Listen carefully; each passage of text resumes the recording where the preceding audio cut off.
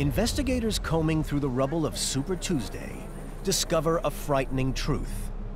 Tornadoes are getting more powerful. Is there anything we can do to protect ourselves?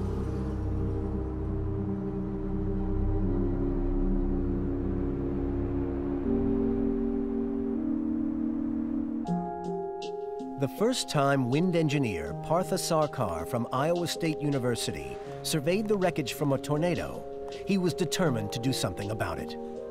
You may survive a tornado, but your entire life is turned upside down because your whole house is gone, whole neighborhood is gone. And that's what bothers me. If you see the cars which have taken a hit from F5, uh, you see it twisted beyond recognition, you know, people are no match for that kind of wind. On Super Tuesday in Tennessee alone, over 500 homes are destroyed.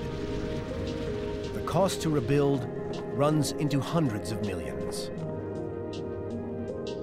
Sarkar thinks we can prevent the damage these new, more powerful tornadoes will bring.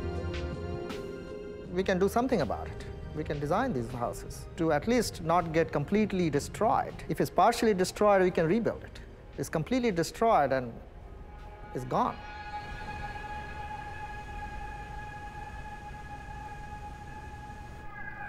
In order to figure out how to protect a building, he has to know exactly what the winds are doing inside a powerful tornado. To do that, he has to make himself one. He contacts tornado expert Bill Gallus. It was probably a phone call I'll never forget. Partha wanted to design the first wind tunnel that would create a moving tornado and wanted to discuss what ways might we use to create a moving tornado simulator. This is the result of their collaboration. A twister in a can, 18 feet across and 11 feet high, suspended over a model target. The largest and most realistic tornado simulator ever constructed. It can recreate the same kind of tornadoes that struck on Super Tuesday, from EF1 to the more powerful EF5.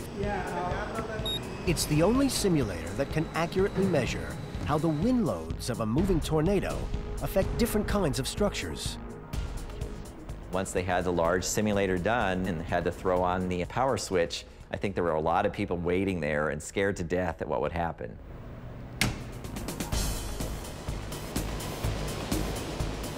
In the past, wind tunnel research simulated only straight line wind.